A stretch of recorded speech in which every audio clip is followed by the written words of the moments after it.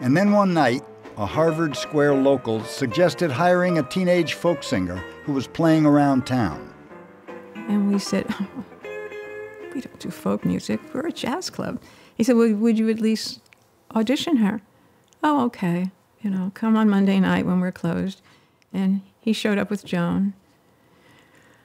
And she got up on the stage and started to sing, and Paul and I both fell backwards in our seats.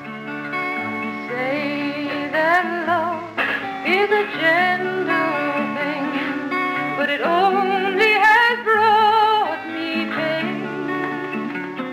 To expect nothing and to have this rather ordinary looking young person walk in and open her mouth and start to sing is just an amazing experience, a once in a lifetime experience.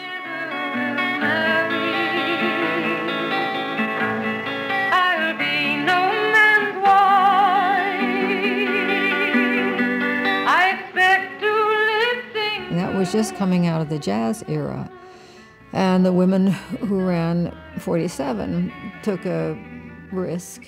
And instead of having jazz, I guess one night a week, they had folk music. And that's where I really got started, in my opinion.